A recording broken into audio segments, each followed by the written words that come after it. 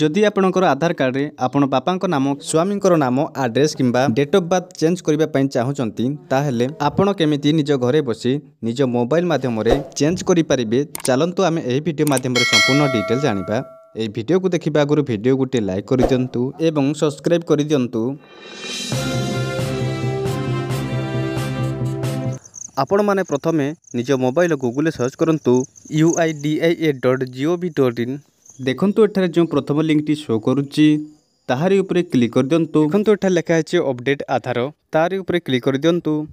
click କଲା ପରେ ଦେଖନ୍ତୁ ଏଠାରେ ଆସିଯାଇଛି update Aadhaar in year Aadhaar ତାରି ଉପରେ କ୍ଲିକ୍ କରିଦିଅନ୍ତୁ କ୍ଲିକ୍ କଲା ପରେ ଦେଖନ୍ତୁ ଏଠାରେ ଆସିଯାଇଛି ଆଧାର କାର୍ଡ଼ ଅଫିସିଆଲ୍ ୱେବସାଇଟ୍ଟି ଓପନ୍ ହୋଇଯାଇଛି ଦେଖନ୍ତୁ ଏଠାରେ ଲେଖା ହେଇଛି ଲଗ୍ଇନ୍ ତାରି ଉପରେ କ୍ଲିକ୍ କରିଦିଅନ୍ତୁ ଦେଖନ୍ତୁ ଏଠାରେ ଆପଣ ନିଜର ଆଧାର କାର୍ଡ ନମ୍ବରଟିକୁ ଦେଇଦିଅନ୍ତୁ ତଳେ ଲେଖା ହେଇଛି ଏଣ୍ଟର କ୍ୟାପଚା ଏଠାରେ କ୍ୟାପଚାଟିକୁ ଭଲ ଭାବରେ ଦେଇଦିଅନ୍ତୁ ଦେଇ ସାରିଲା ପରେ ଲଗ୍ଇନ୍ ୱିଥ୍ ଓଟିପି ଉପରେ କ୍ଲିକ୍ କରିଦିଅନ୍ତୁ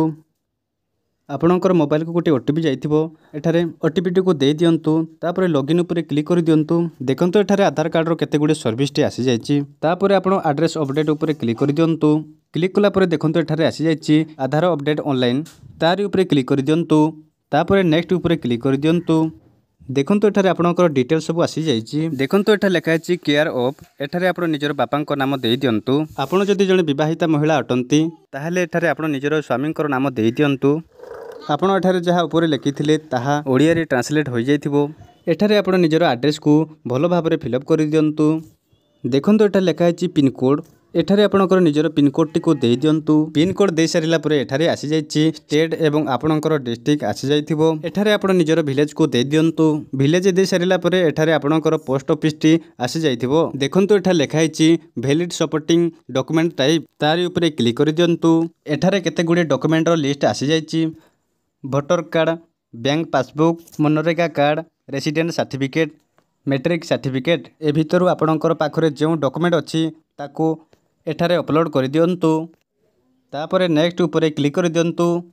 ନେକ୍ସଟ ଉପରେ କ୍ଲିକ୍ କରିସାରିବା ପରେ ଆପଣ ପଚାଶ ଟଙ୍କାର ପେମେଣ୍ଟ କରିବେ ତାପରେ ଆପଣଙ୍କର ଅପଡ଼େଟ୍ଟି ସକ୍ସେସଫୁଲ୍ ହୋଇଯିବ